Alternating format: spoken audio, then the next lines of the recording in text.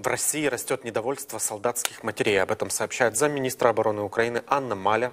Слышит ли их голос Путин и какие угрозы может нести это его режиму? Шатается ли кресло под диктатором? Как элиты воспринимают отступление российской армии и рейды российских добровольцев на приграничные регионы Российской Федерации? Говорим об этом, а также, как, а также о Пригожине как о э, политической фигуре.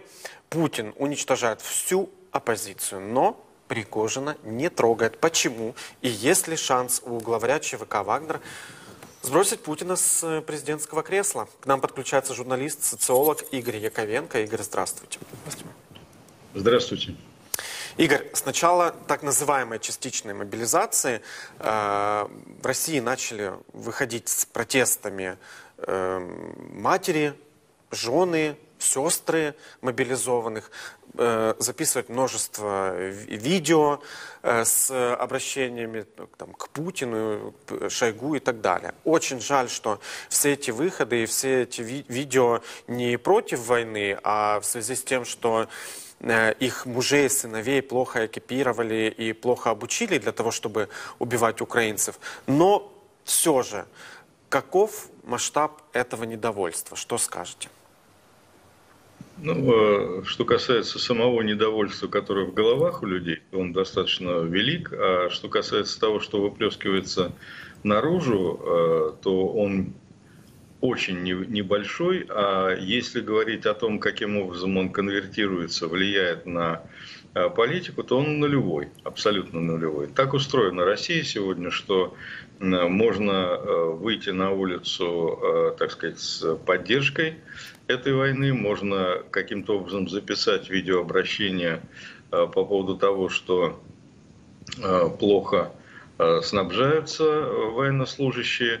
Но если будет записано антивоенное видеообращение, то это тюрьма. То есть это срок в диапазоне там, от 5 до 25 лет. То есть на самом деле я думаю, что никаких шансов на какое-то активное сопротивление э, в обозримый период нет. До тех пор, пока этот режим не рухнет. То есть э, никакой опции э, с помощью там, антивоенного сопротивления или антипутинского сопротивления свергнуть этот режим не существует.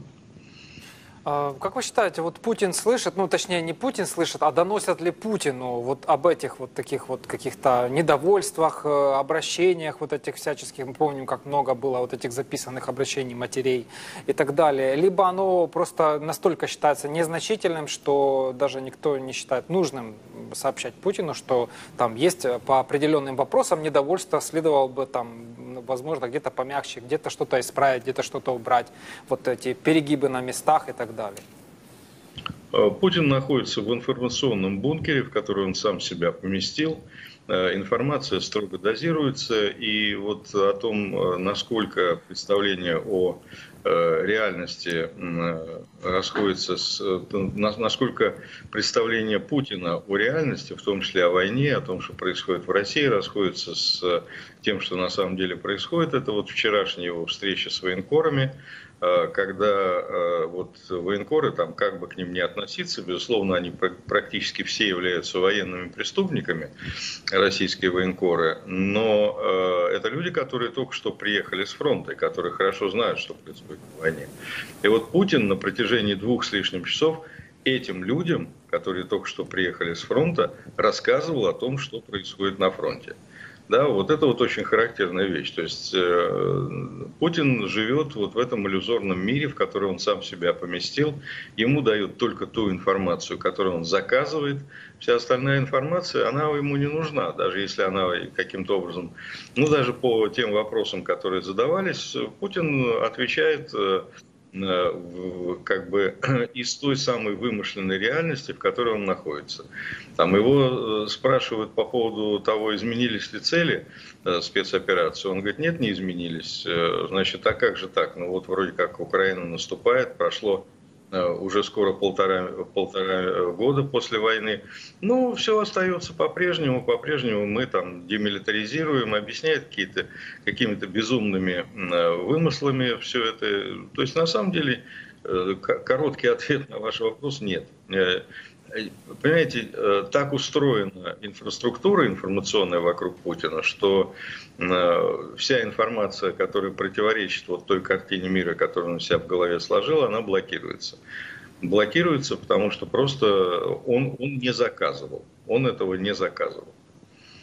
Слушайте, а вот это вот, это вот э, одна из э, встреч его последних с так называемыми военкорами, там, где он сказал о том, что э, э, цели так называемой специальной военной операции, э, они в ходе так называемой специальной военной операции э, пересматриваются, но ну, как, меня, меняются, но в целом не меняются. Ну, Это... Ну, слушайте, да. да, это очень смешно было. На самом деле, конечно, если рассматривать вот, этот, вот эту встречу, э, так сказать, как, как некий вариант стендапа, то, может быть, это да, можно, можно, так сказать, посмеяться. Если бы все это не, не приводило, не, не было неким э, звуковым оформлением, то и тех чудовищных кровавых э, преступлений и потерь, которые происходят. Да, действительно, там военкор такой есть поддубный, он задал ему вопрос, а как вот с целями военной операции, вот этой специальной операции. На что Путин сказал, что цели остаются прежними, э, да, все меняется, сознание меняется, но цели остаются прежние.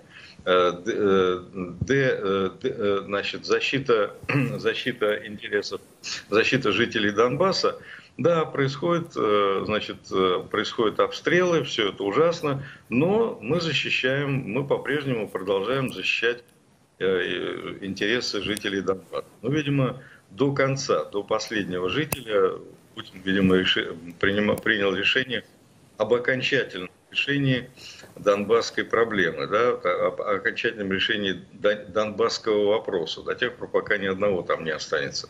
Ну, в таком духе, понимаете, то есть э, действительно человек вещает из какой-то вымышленной реальности, в которой он себя давно погрузил. Там рассказывает очередной раз, рассказал э, страшные ужасы про Ленина, который создал в 22 году Украину, о том, что он сошел с ума, Ленин сошел с ума. На самом деле Путин, по сути дела, превратился в такую э, мумию, который, конечно, было лучше бы, чтобы он молчал.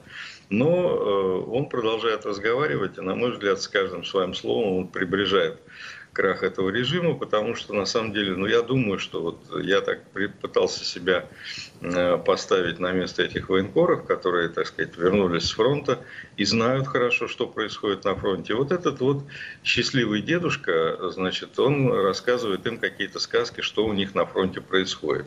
Значит, рассказывает о том, что украинское наступление захлебнулось, что украинцы теряют в 10 раз больше, чем россияне, что уничтожена треть Э, техники, которые поставлены Западом.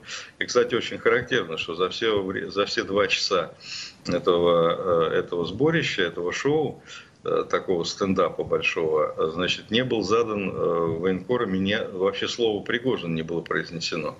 И параллельно выступал Пригожин, который на, на самом деле сказал, что украинское наступление идет крайне успешно, значит, отвоевано свыше 100 э, квадратных километров э, земли и, э, так сказать, потери, там называют потери 2-3 танка значит, западных. То есть, ну, и, и вот я так примерно представил себя, на чьей стороне вот сейчас могут быть симпатии, скажем, военкоров тех же самых и там младшего командного состава вооруженных сил. Для меня совершенно очевидно, что на стороне Пригожина точно, уж никак не на стороне Путина. Ну вот да, Путин, вот как вы сказали, он в таком информационном вакууме, в таком бункере. Э, ну а как относится к этой всей ситуации элита, которая вот возле него там, да? То есть понимаем, что вот есть даже последняя информация от издания The Guardian, которая э, сообщает, что только в 2022 году и только из-за санкций вот эта вот вся элита потеряла э, около 95 миллиардов долларов там, в свете разных обстоятельств, аресты там, и так далее, э, счетов. Э, опять-таки вспомним вот эти вот недавние э, дроны на Рублевке. Ну, тоже явно кого-то должны были обеспокоить. Эм, как вот среди них э, настроение? Ну, э, я думаю, что вы хорошо знаете исследование Блумберга, который опросил какое-то количество, там, так сказать, представителей этой самой элиты. Ну, несложно произносить слово элита в отношении российской верхушки. Можно говорить так называемые элиты, например.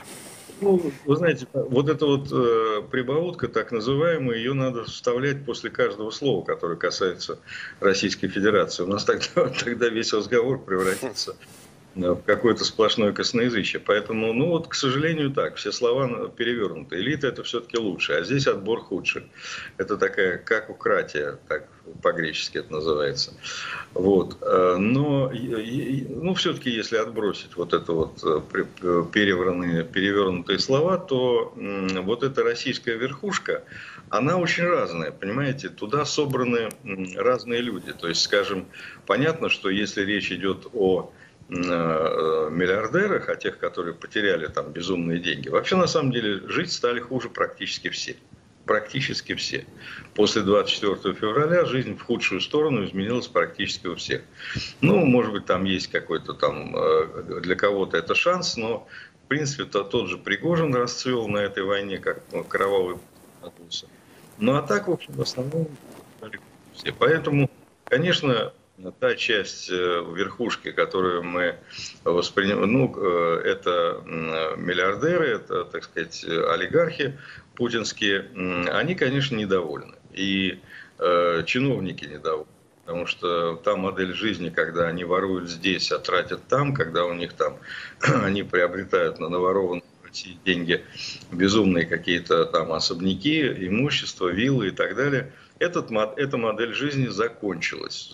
Они все под санкциями, поэтому, э, более того, под санкциями постепенно оказываются их дети. То есть, на самом деле, жизнь стала хуже. Но вот вы знаете, никакого значения это не имеет, потому что э, вот все разговоры о том, что надо сделать, э, вот у меня несколько раз были беседы сейчас с некоторыми российскими оппозиционерами, э, которые говорят, вот сделать э, санкции строже, жестче, и тогда эта элита там свергнет Путина, все это полная ерунда. Ну, уж простят меня мои собеседники, э, значит, очень уважаемые, симпатичные люди, но это полный, полный отрыв от реальности. Никаких, никакого воздействия, вот вся эта элита, все эти олигархи, чиновники – экономический блок правительства российского, который, конечно же, прекрасно понимает все эти Набиулины, Силуановы, достаточно высокопрофессиональные экономисты, которые, кстати говоря, на своих плечах поддерживают вот этот кровавый путинский фашизм. Они, они, именно они своей достаточно грамотной, умелой экономической политикой спасают э, и позволяют Путину по-прежнему продолжать эту войну. Они, конечно, это все и, конечно же, они э, как бы не, не поддерживали эту войну никогда. Но они абсолютно лишены всякой субъектности, они лишены всякой возможности выступить против, и они соучастники по факту. Второе, вторая часть этой, э, того, что мы называем путинской верхушкой, это генералитет. Генералитет тоже был с самого начала против войны, это прекрасно известно, там были выступления генерала Ивашова, полк Кобеса, но тем не менее это кадровый сотрудник Генштаба, и э, через него, его устами говорил Генштаб, говорил о том, что безумие воевать со всем миром. Но опять-таки они заложники, потому что э, за период, э, там нет, нет ни одного человека, который бы обладал субъектностью политической, обладал волей, политической смелостью и так далее. Все генералы, которые обладали такими, они убиты, просто физически убиты. Генерал Лебедь убит, генерал Рохлин убит. Этот список можно продолжать.